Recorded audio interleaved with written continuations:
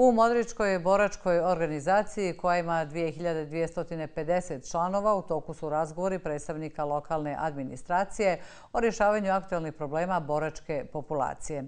Do sada su sastanci održani u 10 od 20 mjesnih boračkih odbora. Problemi su, kažu, demobilisani borci, brojni, a najveći je zapošljavanje.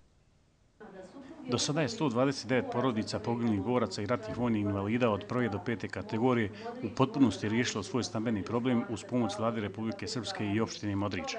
Oni misle da se malo daje borcima koliko su dali za ovu zemlju i porodice poginuli, invalidi i sve.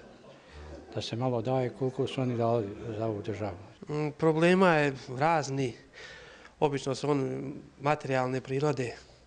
Mnogi od demobilisjenih boraca su E, nezbrinuti. Organizacija kao organizacija se trudi koliko može da pomogne i prilično uspješna u tome. Za boračka pitanja u opštinskom budžetu je za ovu godinu predviđeno do 200.000 maraka. U toku je konkurs za raspodilu 40.000 maraka za rešavanje stambenih problema ratnih vojnih invalida od 6. do 10. kategorije. Međutim, trenutno je, borci kažu, najveći problem zapošljavanje. Opština Modrića čini sve za djecu poginulih boraca i da je dakle, prošle godine, a i ove godine, svu djecu sa biroa djecu poginulih boraca e, smo zaposlili da odradi pripravnički staž. Na osnovu projekata vlade Republike Srpske i opštine Modrića prošle godine je samo zaposleno ili zaposleno 71 lice iz boračke populacije.